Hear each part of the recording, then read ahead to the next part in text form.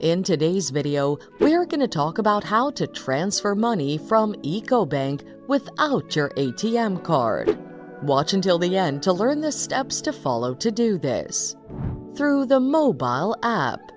On your device, open the EcoBank mobile app. Enter your username and password to log into your account.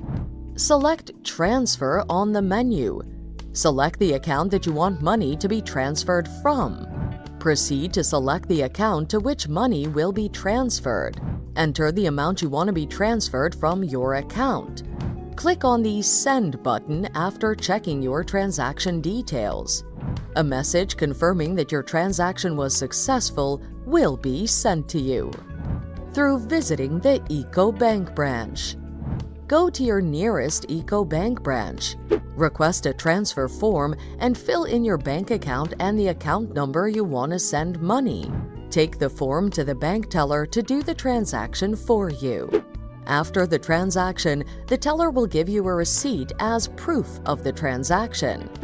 And that's it for this video. Using these steps, you can transfer money from EcoBank without your ATM card. Thanks for watching. Till next time.